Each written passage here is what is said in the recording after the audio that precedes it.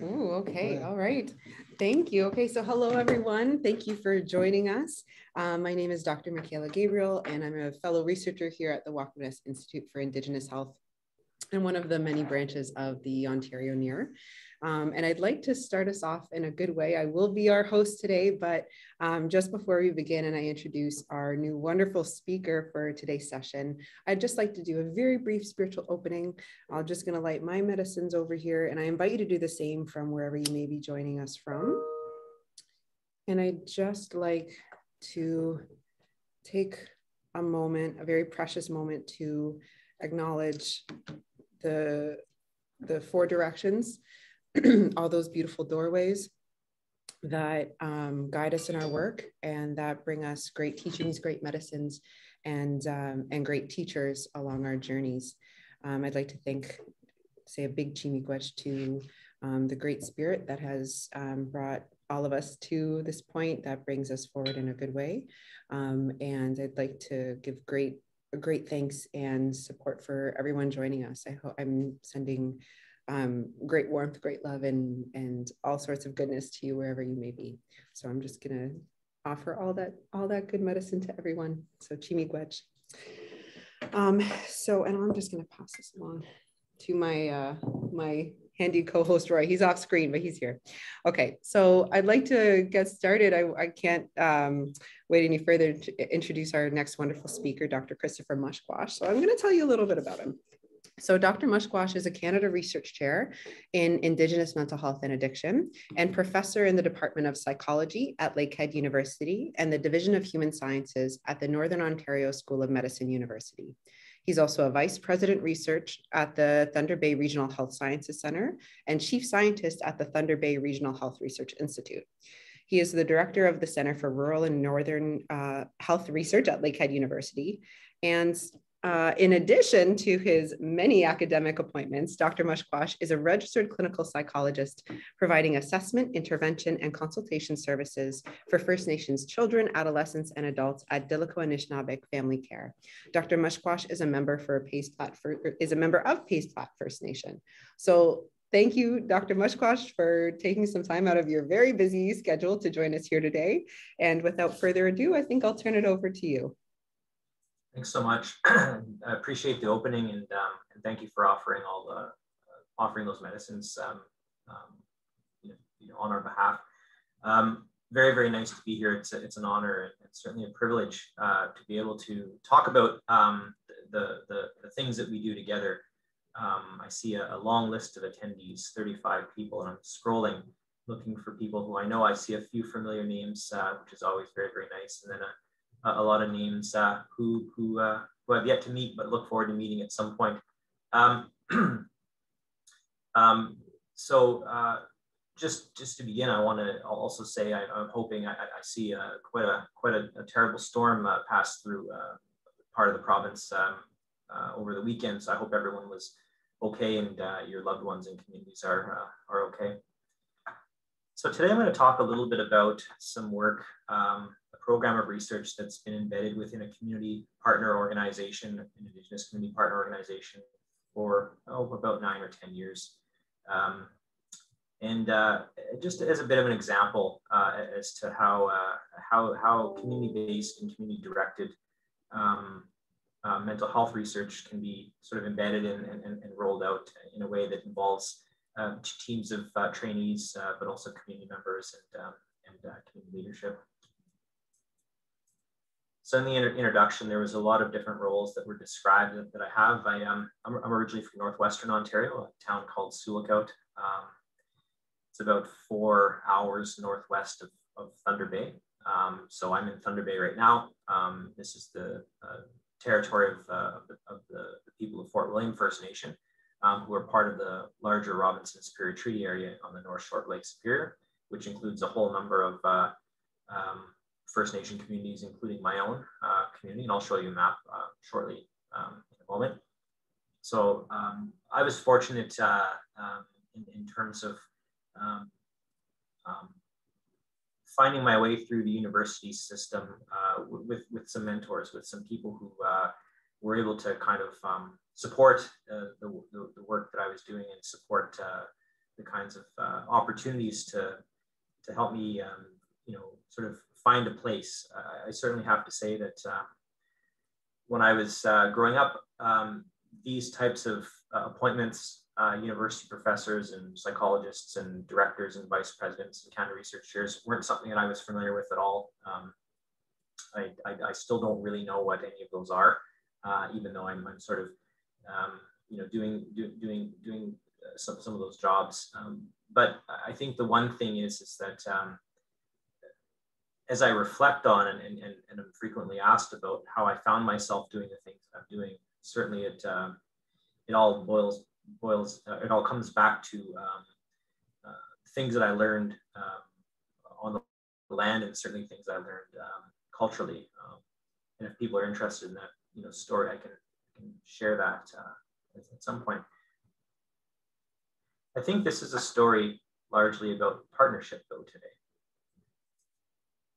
And here's a map uh, that just demonstrates uh, some of the communities that we've partnered with. So this is the Robinson Superior Treaty area largely.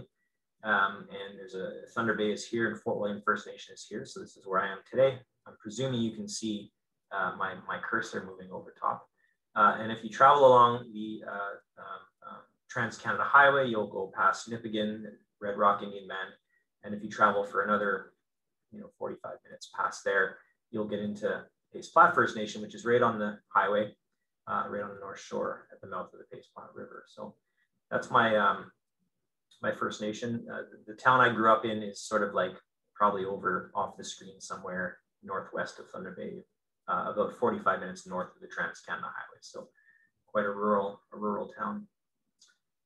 Um, so let me tell you a little bit about uh, how our partnership started. So I'm a, I'm a clinical psychologist, and when I returned back uh, to Thunder Bay, I did my my training. Um, well, I did an undergraduate degree and a master's degree at uh, Lakehead University, and uh, somewhere around my I started off in biochemistry. Somewhere around my second or third year undergrad, I spent a lot of time thinking about what types of skills might be useful to, to learn about uh, as a means of being helpful to um, my community and uh, I sort of grew up um, recognizing and, and, observing, you know, uh, difficulties in mental health, difficulties in addiction, um, and and wanted to learn more about that. So um, I enjoyed bench science. I certainly enjoyed chemistry. In fact, I, uh, one of my favorite courses I ever took as an undergraduate was called Tree Development and Function, and it was all about trees. And uh, I, I, sometimes joke that I was either going to be a plant biologist or a psychologist, and um, we, we know how that how that story ended. But um, somewhere around my second or third year, I took some some elective courses. Uh, I took philosophy and I took English and I took uh, psychology and and really found uh, uh, um, that you know psychology had a, a, good mix of of the things that I was interested in, right from sort of you know broader population level um, um, things that, that can influence mental health and addiction down to individual level things. Um, it had uh, it had neuroscience and biology embedded, but it had research embedded as well. And I, I got really interested in that. And uh, somewhere around my third or fourth year undergrad, I, I, found a posting for a research assistant job, and I um, and I applied. I had no idea what I was doing, but I applied and I interviewed, and, uh, and I got the assist research, research assistant job, and it was at the Center for Rural and Northern Health Research. And at that point, it was uh, under the direction of, uh, of uh, uh, Dr. Bruce Minore, who's, who's since passed, sadly, and, uh, and also Dr. Mary Ellen Hill, um, who we're doing a lot of community engaged research in collaboration with um, um, others in the North, including you know lifelong mentors like you know Mae Katt um, and, and, many others I, I could name, um, who who really helped socialize me and, and enculturate me and, and help me understand, uh, you know, community embedded research, uh, indigenous uh, health research, uh, rural and remote northern research, and in particular the value, not the value, the importance of, of you know, strong relationships and following, um, you know, community direction and community priority. Um, so that was my, my early introduction to research. And, and then I went to Dalhousie University and worked with um, Sherry Stewart, and Patrick McGrath, uh, but also worked closely in my first couple years with uh, another researcher called Nancy Camo and uh, folks up in uh, Eskasoni and Membertou and Indian Brook um, in Nova Scotia, um, who, who, who, taught me a lot as well. Fred Wien was another one um, who taught me a lot. I had the opportunity as well to visit communities there and talk about, um, you know, uh, challenges that they were experiencing, but importantly, looking at uh, potential uh, pathways to, to help solve some of the things that they were contending with. In those years, I had, you know, the, the opportunity to meet, you know, uh, Murdena and Albert Marshall. You know, Murdena has since passed. You, you'll you'll know their names from from the two-eyed seeing model. That's um, that's that's um, been been very very influential in, in terms of thinking about um, thinking about uh, uh, uh Indigenous uh, re research. My story with them always involves fish chowder that they gave me. I, don't eat fish, but of course, when you're invited into an elder's home, you eat whatever whatever is given to you. And, uh, and, I was very grateful to be invited there to be able to speak with them and learn from them. Um, and I I ate fish chowder, um, and and apparently it was very very good fish chowder. But I that, that part was probably lost on me, unfortunately, at the time. Um, and then I went to Winnipeg in the College of Medicine there and did a residency that, that had me in uh, Winnipeg uh, for uh, half a year and Flin Flon, Manitoba for half a year. Uh, you know, about an hour north of Winnipeg is it gets pretty rural and uh, it gets very friendly. It says so on the license plate, and I noticed that it gets very, very friendly. I have lifelong friends in Flin Flon, certainly. But throughout my dissertation research, I was able to partner with um, schools in Winnipeg, but as well First Nations out in Saskatchewan. So I really had a lot of opportunity to, to travel to different places and learn from a lot of people. So all that to say, when I returned to Thunder Bay and, and began, um, you know, um, reconnecting with a lot of the community uh, uh, that I that I'd been away from, I actually uh, reconnected with an organization I'd worked for as, a, as an undergraduate student, um, and I, I, I, joined in a new role, and that was as a as a well, first as a supervised uh, practice psychologist, and then as an autonomous psychologist, and uh, really, uh, you know, engaged in a lot of conversation and a lot of um, um, you know, just listening about uh, different priorities within the agency. So the agency is mandated for mental health and addiction, health, and also child welfare. It's governed by uh, the leadership of 13 First Nation communities. So uh, chief, council, and or delegate um, as, as the board of the organization. Um, there, there's a leadership structure. Um, cultural values are embedded within the, the work that, uh, the organization undertakes. And really it's to um, to try and find the very best pathways and, and, and health and wellness for Anishinaabeg, um, you know, children, families, and communities in, in Northwest Ontario.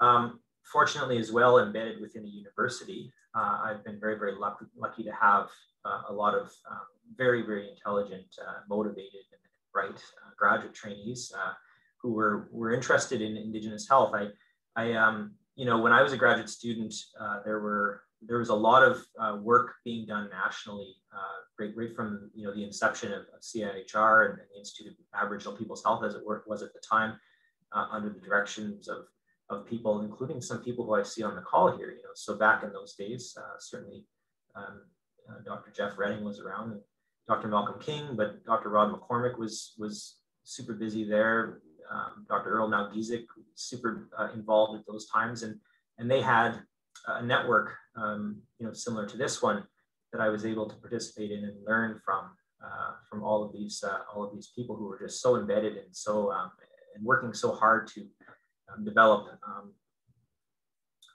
you know develop out the Indigenous health research endeavor and, and, and set it aside as, as, as something that required uh, unique uh, and, and, and, sort of culture based uh, community focus uh, beyond the other institutes. Um, you know, I, I, like to think that, you know, that work was, you know, so uh, influential and, and, so foundational to the direction that CIHR later took, took with, you know, strat- strategy for patient-oriented care, for example, um, or sorry, strategy for patient-oriented research. You know, the idea that the people who, um, uh, people and citizens as, as, as, as participants, as, as um, not just participants, but as leaders uh, and, and, and, those who direct the, the research endeavor, you know, that was foundational in early, uh, early uh, IAPH. So, you know, again, um, really uh, learned a lot from from from many of those individuals and found myself in, in a faculty appointment with with you know very bright uh, graduate students who um, who are you know an abs- absolute privilege to work with. Um, and I do see now such an interest in, in, in graduate trainees uh, in Indigenous health, so much interest, um, you know, so far beyond, um, you know, those early days when we seem to feel as though we, we may have been a relatively small group, but certainly that group has grown and, and you know, as, as evidenced by 40 people here today, for example. I mean, this is pretty remarkable. Um, it used to be that, you know, we would go to meetings and, um, and there would be some people in the room we didn't know, but there would be a lot of people in the room we did. And, and now it seems as though that's, uh, that's changed a little bit. And I'm, I'm certainly um, hopeful. The, um, the team here uh, includes a few people now who've, who've finished their um, PhDs uh, and a couple more who'll be finishing shortly. Uh, and it's growing as well. I have a, a new trainee um, who's joining me in September who I'm really looking forward to welcome uh, into our program. So essentially what happened was, you know, because the mandate of the organization is so broad, there's all these questions that come up. And one of them was, you know, when, when uh, a child, when a family needs to be supported, often through a kinship arrangement, that is the child sort of, you know, is, is moved in with a relative uh, for the time being to help support the parents in terms of uh, any needs they might have with respect to mental health, addiction, housing, those types of things. Um, you know, how do we know when the child when the family is, is sort of ready to be to begin that process of coming back together.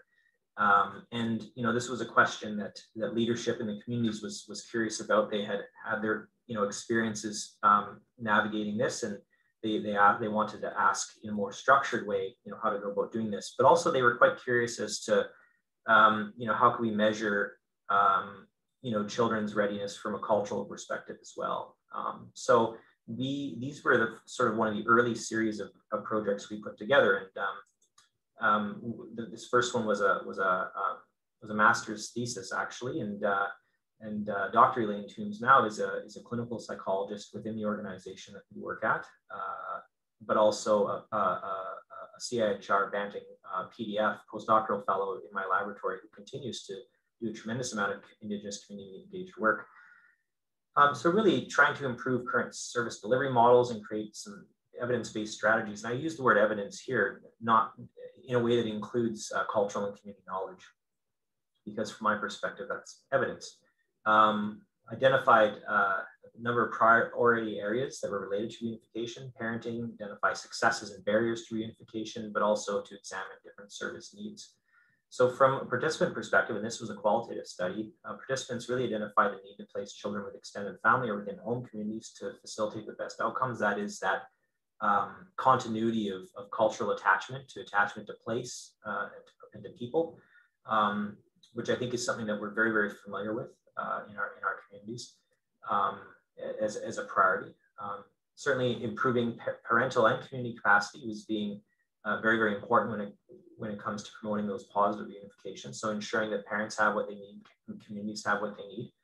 Um, some of the successes that we identified were, were you know, available supports. Um, so really leveraging you know, what was available in community um, in order to wrap around families. Um, but in particular, those that increased empowerment and community capacity. So, you know, oftentimes when, um, when people um, interface with systems, there is a lack, there is a, an undermining, let's say, of people's, uh, there can be an undermining of people's sort of sense of agency, um, sense of self uh, efficacy, et cetera.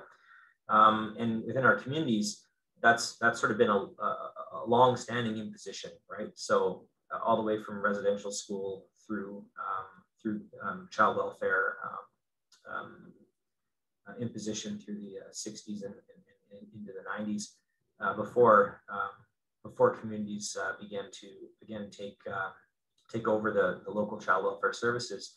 Uh, a lot of that undermining, um, you know, has has long lasting effects as well. I mean, it's it's very difficult to feel as though you're able to do something from a place of strength when systems that have been imposed have been um, working very diligently to undermine uh, not only capacity and knowledge that you might have, but certainly the the, the, the feeling that you also have um, that, that capacity knowledge that you need to be able to succeed.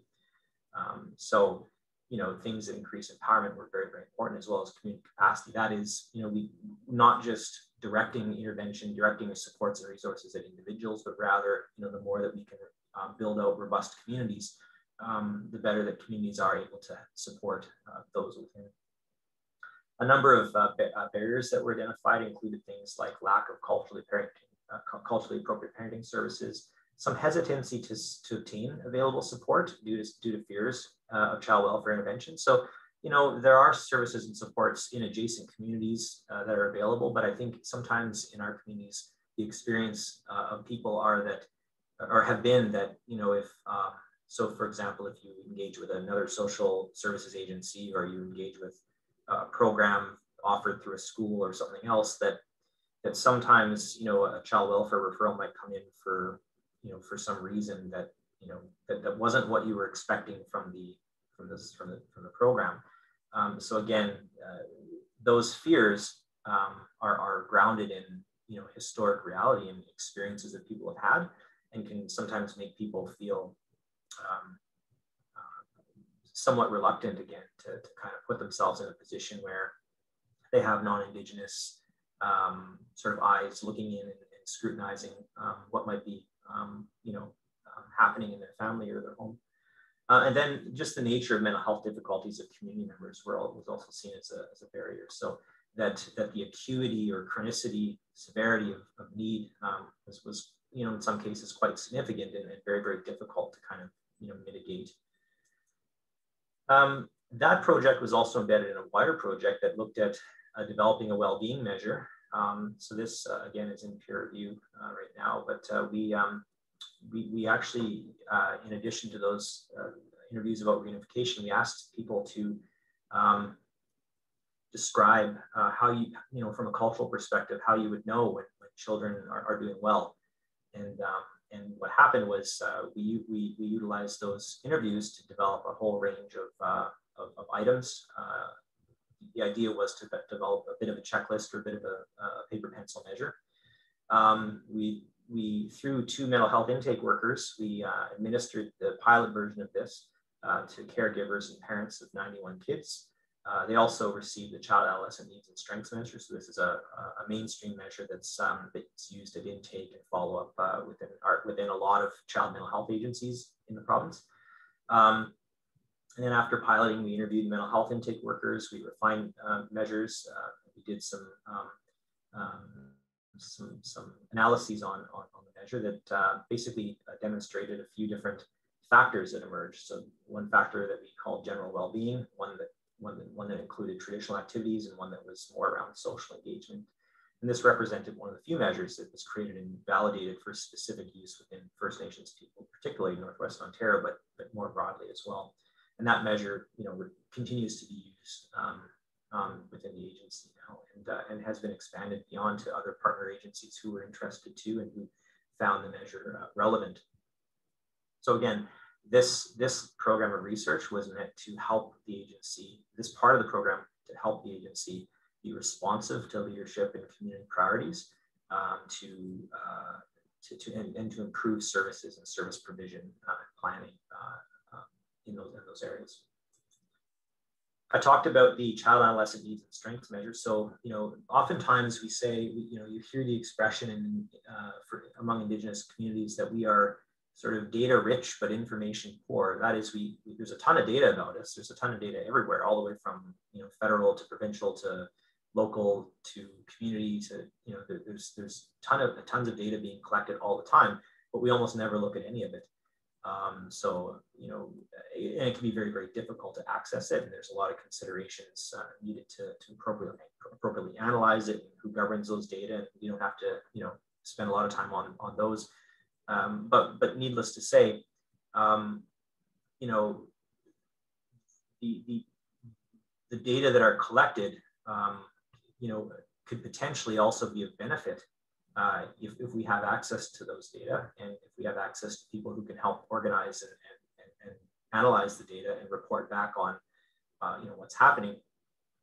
So we, we looked at this within the agency. The, CANS is a, is a measure that's administered to you know all of the all the kids um, um, who are, who come into the agency in the mental health side. It's an interview from an intake worker uh, to a caregiver, um, and what we what we thought was, well, let's let's see you know where where the where the need is. Let's see you know what what's being reported, and then perhaps we can develop some service and supports in those areas. So the most commonly reported mental health intervention needs were seen for anxiety, mood difficulties, uh, difficulties with emotional control, and adjustment to trauma, which was quite consistent with observations from within the organization and certainly within the, uh, the, the, mental health workers and the caregivers. You know, oftentimes, um, you know, the kids uh, are having some pretty significant difficulties in these areas. The, the, the challenge is, is that then they get, you know, waitlisted to see a counselor. So we began thinking about um, you know, if there's perhaps another process issue that could, could address uh, um, common things um, a little more quickly without having to be placed on a wait list. And I'll get to that in a minute.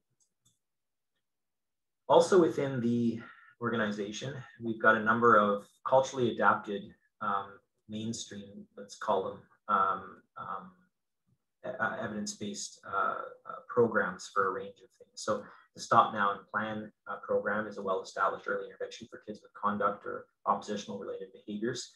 Uh, and this is a, a, proportion of kids. So you saw in the last one, emotional control, adjustment to trauma, that can often present clinically as kids who um, have a lot of difficulty, you know, managing impulses, uh, have a lot of difficulty with aggression and, and, things like that. It comes from a place of, you know, of, um, well, that's a, that's a whole nother conversation, but um, but needless to say, we, we, we service uh, a lot of young people who have, you know, who present with these types of clinical difficulties.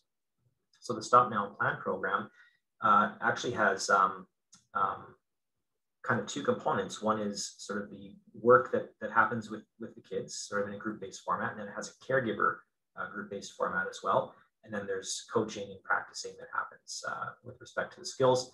Uh, it's rarely been evaluated, evaluated with Indigenous youth, although there's been some evaluation, and certainly it's never been adapted, had, had been adapted specifically for First Nations. So we tested a culturally contextually uh, adapted version, and we saw significant improvements in parenting self-efficacy, um, particularly in the domains of control, uh, ability to, to appropriately discipline, uh, boundary setting, um, and, and, for, for, for these specific age groups, and it's, um, I believe it's a six to 12 kind of intervention. Um, we also saw significant uh, decreases in externalizing symptoms. So those would be sort of, you know, impulsivity and uh, aggressive uh, behaviors, etc., Uh, and uh, improvements in overall sort of reported symptoms. So again, you know, looking at those programs that we do have, rather than just having them run, uh, you know, where there are data being collected, really looking to see, you know, how they're doing. We've got a number of ongoing projects. Um, so one of our projects, and this is uh, this was uh, Dr. Tim's uh, PhD. It's also going to be featured Dr. Lund's, Lund's PhD. She's just finished her clinical residency now. She's already defended. Um, you know, we again we have an addiction treatment center on reserve, and uh, um, community leadership, you know, was quite curious about um, you know trauma and, and the experience of, of, of people um, seeking residential treatment when it came to uh, trauma and as well uh, intergenerational trauma. So we uh, we began looking at uh, at this, and, and, this project project was ongoing. We also looked at a few other kind of clinical areas that that you know might um, be, let's say, a little less subject to um, cultural bias and, and um, so you know there are a number of different behaviors, a number of different kind of functions that uh, that uh, might be more characteristic of, of all people rather than um, you know selecting clinical targets that are um, let's say normed or um, validated on non-indigenous populations. So what we did was looked at uh, a couple different areas, including ACEs. So we looked at general health. Uh, we also looked at um, you know what are generally termed as um, executive function, and I can talk about that if people have questions as well. We also uh, asked people to report on what they knew about uh, their families, so either their parents or their grandparents, to get a sense of that intergenerational question as well. So not only reporting on adverse childhood experiences, um, uh, but also reporting on on that with which that that which they know from their family. We set this study up very very carefully, very very careful collaboration with the treatment center, um, clinicians and leadership. So what happens is is that there's questions that that you know people answer on intake, um, uh, and then there's questions that they would answer, and then that's gen- for general program participation. You know, age, you know, where are you from, family, you know, those types of demographics, and some other kind of clinical questions. You know, what what types of difficulties are you you know are you looking for support from? Are you interested in culture, you know, approach cultural approaches, etc.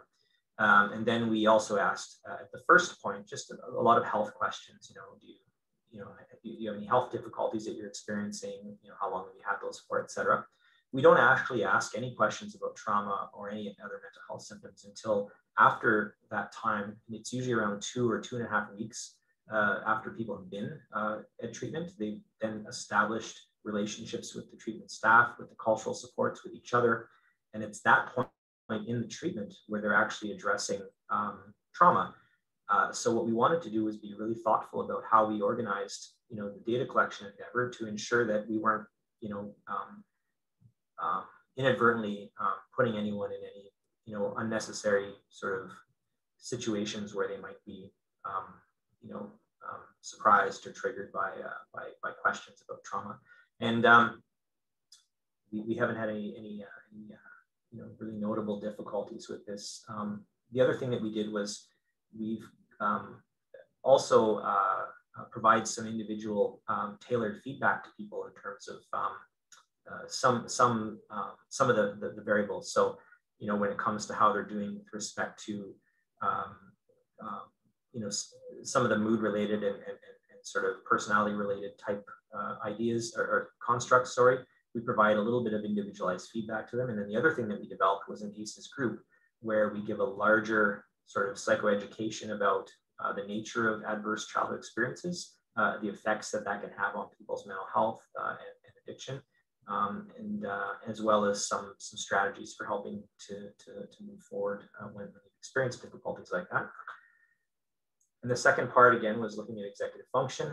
Um, again, I don't have to get into the details of this, just needless to say that um, it's an area that is really underexplored, but certainly an area that clinically has a lot of um, uh, utility. So, you know, people would say, you know, patients would say, you know, I have a lot of heart, I have a lot of difficulty controlling my emotions. I have a lot of, you know, difficulty um, controlling my impulses when when I, I feel like I need to do something, or if someone, you know, says something to me, or you know, I have a hard time not reacting or I have a difficult time, you know, sort of keeping a plan or organizing my life in a way that, you know, allows me to get the things done that I'd like to get done. And all those can be seen as uh, consequences of early exposure to trauma. Oftentimes they're diagnosed as mental health uh, difficulties like, you know, attention deficit hyperactivity disorder or something. Um, when, when in reality, uh, you know, what we're probably talking about is, um, is sort of disruption in, in executive function as a consequence of sort of um, disruptions in, uh, in attachment and, uh, and, experiences of trauma. And there's, you know, we've, we've published a number of papers on this, um, which I'm happy to talk about if people are interested. But I know we're not psychology, not not as specifically a psychology group here, so I'll keep moving. And then we've got a number of projects that are certainly in development. Uh, Lauren um, Delacandro is a PhD student uh, in my laboratory. Um, again, her, her research is embedded within the treatment center. Um, and it's really looking at different um, factors that, that contribute to success in terms of the group cohesion in, in, the, in the treatment process. So one of the things that sometimes happens is that, you know, when 22 people or 20, 20 or 22 people come together, it goes really, really well. Everybody sort of gets along, things, you know, are supported, people make friendships, they support each other outside of treatment. Uh, and sometimes it doesn't go that way and sometimes it, it can go it can go such that there's a lot of conflict. Uh, people leave treatment before completing due, due to some of the conflict. Um, and this, these are observations. If anyone's ever kind of worked or, or um, collaborated within a within a, a, residential treatment center, this is sort of what, what can happen sometimes. And, and so we were asking, so community and leadership and, and leadership the treatment center were asking, well, could we look at this? Could we look at, you know, what are some factors that help um, contribute to sort of a, a, more successful, cohesive experience for, for, for, for, patients, for clients? And, and what are some of the factors that don't? And if we know that, then perhaps you know when people are coming into treatment, we can kind of mitigate them, or we can we can help support people who you know uh, might be feeling you know how this um, um, you know just in the context of, of, trying to make a more successful experience for people. Um, so that's ongoing. Trent Lyons, he's joined the lab in the last uh, year, uh, last two years. He's uh, he's a Mi'kmaq student from Nova Scotia. Very very happy to have have Trent on the team. Um, he's looking at, I talked about the child adolescent needs and strengths. He's really interested in cultural and protective factors uh, as, as, as they relate to academic outcomes in young people. So uh, in sport, so, you know, in the CANS, there's data, there's all sorts of data, but there's also data on, you know, cultural involvement, uh, um, certainly, uh, you know, sort of the nature of understanding of culture in, in, the, in, the, in the, family, but also um, academic achievement. So he's looking at those data. Abby Radford is a, is a Métis uh, graduate student in my lab. Uh, also, you know, great, to, great, great addition.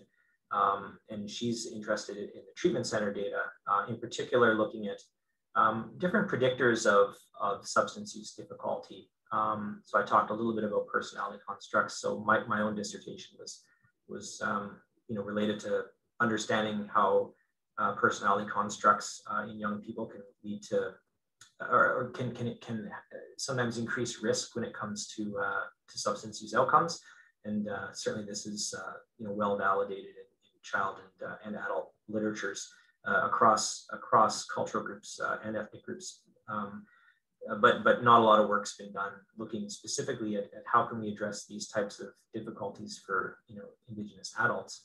So this is what Abby's doing, and then Lydia is a, a new grad student as well, and she was previously doing a PhD in cognitive science at, at Waterloo and, and, shifted to clinical uh, and joined our laboratory. And she's also great. And she's really interested in, um, in the nature of trauma, uh, uh, substance use, and you know what might be more broadly termed, you know, uh, suicide-related behaviors. Some people, you know, have uh, very difficult experiences and, and tend to um, um, have a lot of difficulty with with thoughts and feelings. And again, you know, um, there's there's people that are doing you know important work in this um, conceptually. There's people doing you know important work in this practically, um, but our, our our partners are really curious about how to support in the very best way the people that we see in northwestern Ontario. So we're doing some some work in this uh, area as well. Um, and I should say too, uh, Christie's master's thesis, uh, the, the, initial kind of look at, at what the presenting difficulties were for the young people. Uh, we've got a, a, CIHR grant and we're developing a, a group-based treatment that, that, that um, uh, takes the very best of what we know for culture-based approaches, uh, but also psychological approaches to help manage some of those difficulties. And the idea is, is we can put together a group-based treatment that um, all kids could, um, could participate in if they wanted. Um, you know, prior to engaging in uh, one-on-one, uh, more traditional type counseling, so that they could all sort of develop a, a skill set when it comes to helping to um, to manage some of the difficulties that they may be experiencing. In that way, there wouldn't be as much of a wait time before they, you know, sort of had a referral to mental health. But then um, I got to see somebody, uh, got to see a clinician, and again working closely with cultural supports within the agency to to have cultural skills built in uh, that pro project, as you can imagine, has been a little slowed down uh, due to COVID um, um, uh, because it's only been recently that we're you know back to bringing people into a room together. So that, that's ongoing. And then I should say for the ACES project as well, we've got a five-year CIHR project grant to continue that data collection and, and, and, continue looking at the data and looking at how to how to best understand and best improve um, services and supports for people who are accessing uh, those services. So in summary, you know, this is an example of um, just one example from, from, from you know, um, our, our, our territory where we've embedded um, graduate trainees uh, in, in a community-based um, sort of evaluation and research framework that's driven by community priorities, uh, that's uh, guided by uh, uh, an, an, an, agency research advisory um, that understands that um, there's a great, tremendous amount of interest from trainees in terms of helping to support. Um, and, uh, and trainees also have to complete master's theses and dissertations, which is also a tremendous amount of, um, uh, of, of, human resource, uh, very, very high quality, very, very engaged, very smart human resource uh, who, who, who are interested in learning, who are interested in improving outcomes um, for, for our, our communities. Um, it's, it's mixed methods, um, and it, it's really you know aimed at answering practical questions, improving that knowledge to practice gap. We're not we're not kind of poking around on theoretical things. We're really um, aimed at um, clear clinical questions, and, and, and, and, the reason is is we want to continually be improving the services that uh, that people get in our in our region. So with that, I'll say uh, to everybody, um, in particular our community partners, um, and, uh, and, again those trainees. It's the greatest privilege, uh, you know, in, in, my work to, to, to work with trainees. Um, you know, what good luck you get to sit in a room with with really bright people who like to talk about you know challenging ideas, and you just get to do it as part of your work. It's uh, it's hard to beat that. So uh, to be able to do that while connecting with community, to embedding uh, cultural um, interventions and cultural knowledge within you know broader um, uh, mental health and addiction treatment services, and to do that in your home territory. Uh, yeah, I, I, couldn't I couldn't have got any luckier. I don't think so. Um, yeah, Miigwech to everyone for uh, for listening today. Miigwech, thank you so much. That was so comprehensive and detailed and such a pleasure to hear about all the amazing work you're doing. Um, and even your even your slides and your details were so intact because we have very few questions in the chat. Um, so if anyone has any remaining questions, please get them in now. We'll be more than happy to take them in the time we have remaining. Um, we do have two notes that were posed. Um, one is from another attendee saying, not a question, but I appreciate how Dr. Christopher Mushquash talks about his trainees on his team with kindness and respect. So that's lovely and glowing that that uh, sweetness and kindness comes through um, even in the presentation. Um, how is, what is it like for you in terms of um, overall supervising with the next generation of, in, of Indigenous and non-Indigenous researchers? Yeah, it's, it's a great question. Thanks. Um, you know, so I'll tell a quick story. Um, when you're when you're when you try to keep your, your, your teachings in mind, then the world will show you things at times that that are really informative. Uh, let's say. So about six years ago, um, I, you know, we, we, had a son, and uh, I was off for a week, and um, the, my very next clinical day, I saw a, a, a, grandmother who she was a year younger than me at the time, and she had just become a grandmother. In fact, her daughter and uh, sorry, her grand, uh, her grandson, her daughter and her grandson. So her grandson was born in the hospital, probably around the same time as my son. We may have been there at the same time, although I, I, I don't recall seeing them. But um, in any case, she was a year younger than me, uh, but we had the same birth month. Of course, I had her, her information in front, and she was really happy. You know, she was she she had been sober for about nine months. She she experienced a tremendous amount of violence and trauma, and she was doing well and she was very committed to her daughter and she was very committed to her grandson and it was really really nice. Um, and uh, and the and the, the, the daughter was uh, in her middle teenage years um, and and the and the boy unfortunately he he he was born um, with with neonatal abstinence syndrome. So so young, young mother had had an opioid use disorder and she was she was working on that and and they were they were there um, they, they were there um, you know, getting help. And it, it kind of occurred to me, you know, from a seven generations perspective, and it's not going to be me that sees this through because unless we support this grandmother and support this mother and support this little little fellow, um, in 30 years on my very last day of work, it might be him who's in the in the office with me, right? So, you know, it, it's never that I was so arrogant that I thought I was going to, you know, see it through. I know that things take time, and um, but but it kind of helped um, reorient me toward um, toward the importance and, and, and just, you know, the, maybe, maybe it's the trainees that'll see it through. Maybe it's like, you know, maybe it's, you know, the indigenous and non-indigenous trainees who, who, who one day they'll go into work and say, hey, good news, uh, there's no patients anymore. And, and it'll be them who see it through and, and, and that and that'll be good. So I think that that's the big thing with, with trainees um, that um, you know you can't go wrong supporting them with everything you have because it's uh, they're just so, so such important people. Um, so yeah, Thank you. Well, I see Rod's asking a question. Oh, we got some more. We got some more questions. This is exciting. And thank you for sharing that wonderful, that wonderful story, that wonderful memory. I think that's very powerful. I think it's also very important that we keep these teachings with us to work in the community to keep us grounded and to also share um, with uh, with the researchers of the future. Okay, so um, there is a comment. Someone was wondering if you would be open to receiving additional questions or correspondence following this webinar. I believe in one of your last slides there might have been some contact details. Oh yeah, oh yeah, totally. Um, oh, I see that. Um, yeah, correspondence is a bit tough because I, I get so much email I can't keep up. But send me an email and you know I can even we can even chat for half an hour. Like it's easier just to find a, a time to chat, and happy happy to do that. So yeah. Lovely. Okay, now Dr. Rod McCormick asked Chris if you could do it all over again. What would you do differently? Um, that's a good question, Rod. I, I, would have to spend a lot of time thinking about it. There's a lot of things probably. I think that um, the, the road's a the road's a tricky one. Uh, it's, it's certainly bumpy through uh, through academia. Um, um, there's yeah there's yeah there's a lot of things that I mean you know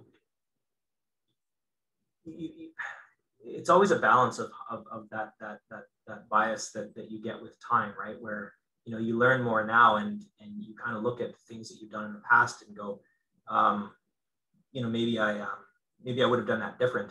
But at the time, you were only working with what you knew at the time, right? So, you know, it, it's always in balancing sort of compassion for who you used to be and compassion for, you know, and, and with, the, with the understanding of who you are now. So in that sense, it's a bit of a non-answer. I apologize for that. But I, I think the other piece is, is sort of, you know, with, with the experience of, of and, and passing of time and, and, and, you know, engagement of, and just learning from people, um, you sort of realize that you're never really making it a, a, decision for yourself like you think you are, but you're making a decision for your, yourself tomorrow and yourself next year and, and 60 year old you too.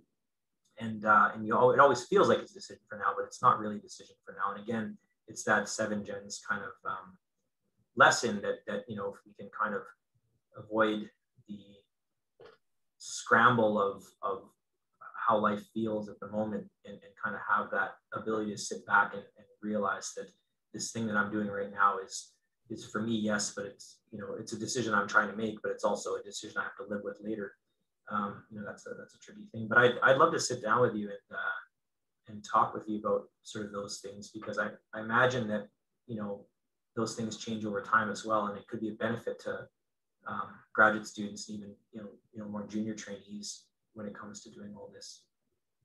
Wonderful. Thank you. That is a big question. It's a powerful question. Well, yeah, yeah. And for context, I've known Rod for a long, long time, and I would consider him like one of one of one of my academic mentors as well. I've learned a lot from participating on things with Rod. That's wonderful. Speaking of, uh, of new trainees and uh, upcoming researchers, we actually have two in the chat asking very similar questions, um, but in different aspects. So with the time remaining, we're going to try and juggle both if we can. Um, so the first one um, is a uh, student finishing their PhD. Vanessa, this is your question, um, and I'm going to try and trim it down just in the sake of, uh, of time. And she was wondering if you can comment on how you trained um, people to work work in clinical environments with blended culturally safe care. I wonder if you could chat about that for a bit. Sorry, I was kind of half reading. So, so. So the, yeah, the question is. Yeah, yeah. Okay, so that, that's a great question. And I, I see it as sort of like central to, to the work that, that I try and do. And that is, you know, um, hospitals have translation services, let's say, right? So they've got, you know, our, our hospital does. So for example, if you're from Northwest Ontario and you come here and you speak um, Anishinaabe or Cree or Ojibwe or, or whatever, um, and you have difficulty navigating the hospital, uh, you can speak to um, um translators who, who help you with that. Um, well, similarly, you know, when Indigenous people um, are trained within academic settings or clinical settings, they learn a language and, um, and but they also still have the language of their home. And, and I'm using language sort of um, sort of broadly here. So, for example, in my work, I think you know a lot about um, what are the active ingredients, what are the mechanisms of action in in, in evidence-based psychological treatment, um, and how how does that relate to cultural approaches. So, for example, you know, I talked about emotional regulation difficulties really briefly. So, you know, there may not be an Ojibwe word for emotion regulation. There may not be a specific, um, you know, uh, term that means that the same way. There's certainly expressions that I've been told that kind of capture those ideas. Um, but but the but the but the understanding of the importance of managing your emotional state um, in such a way as to ensure that you're being informed by your emotions, but your emotions aren't necessarily making decisions on your behalf, uh, is, is very, very embedded within a lot of the work we do. In fact, our opening today was meant to do that. So even though you know the, the opening has a lot of things, you know, symbolic, uh, metaphoric, but also um, then spiritual, um, it also has a deep understanding of, of the importance of, of centering oneself, let's say, uh, in a place where they're able to go forward and do things in a good way. And, and we actually use that, that expression. Um, and I think, you know, you think of a smudge, you know, I, if, if you if you go to a, to a DBT, you know, a dialectical behavior therapy skills workbook, you can look up, you know, a whole bunch of different emotion regulation skills, and they're great. I can't think of a better one than a smudge ceremony. If you think of a cultural intervention that can can you can feel the hair on your neck stand up, um, you know, when when you're when you're having difficulty, and, and our elders, our cultural people use those those types of interventions, quote unquote, all of the time. They have a deep and profound understanding of of, of, of, the, of the emotional, uh, mental, uh, physical, spiritual conditions. Uh, and they know how to, to intervene, you know, using that again um, in a Western sense, in a way that um, is uh, is embedded within relationship and time and place.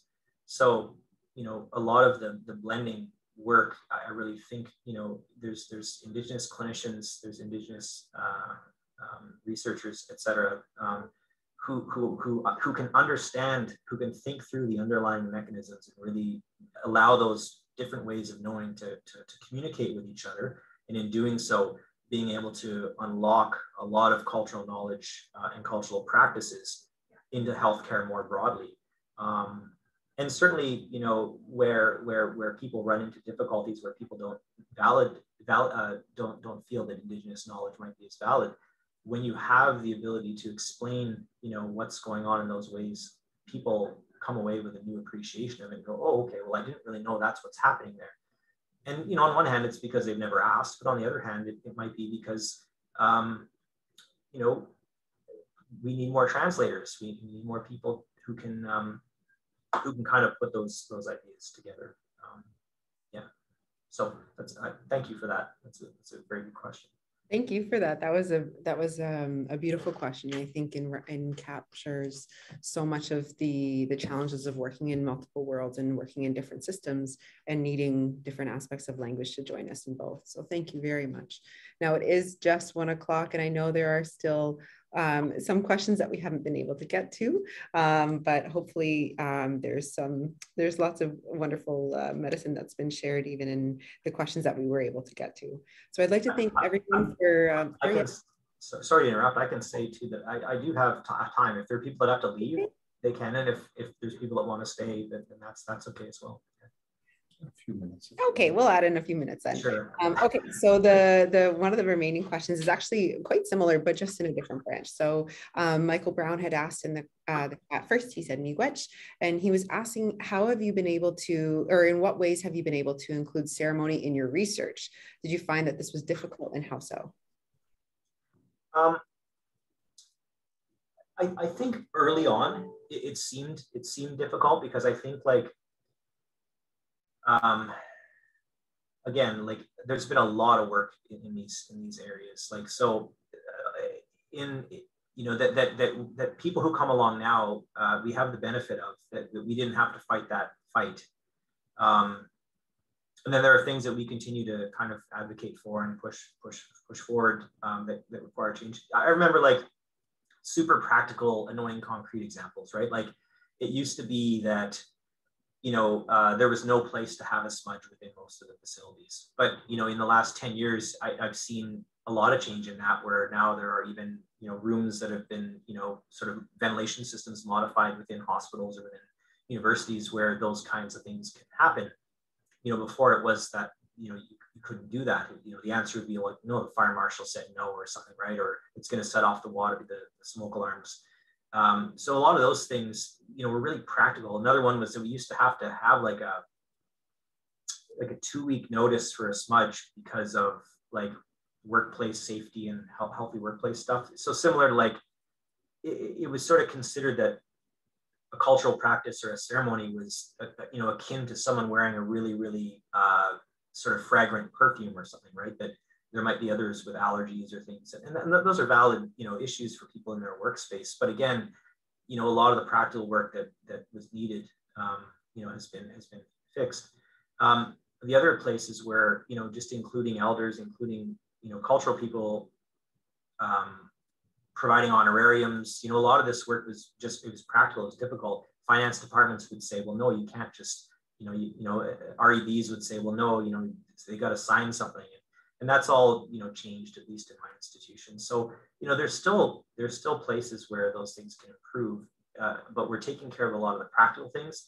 The, the, the, next part is, is, you know, in just in, in, in where is the place for that and, and how do we, um, how do we continue to kind of um, include those things where um, and include them in a meaningful way, right? So I think that you know I've certainly been involved in in projects, um, my own and others, where you know there was great engagement by you know elders, cultural people. I've seen ones where you know there there was there was some engagement, but it was you know it wasn't as easy for elders to engage, um, just given the nature uh, of, of, how things were structured or whatever.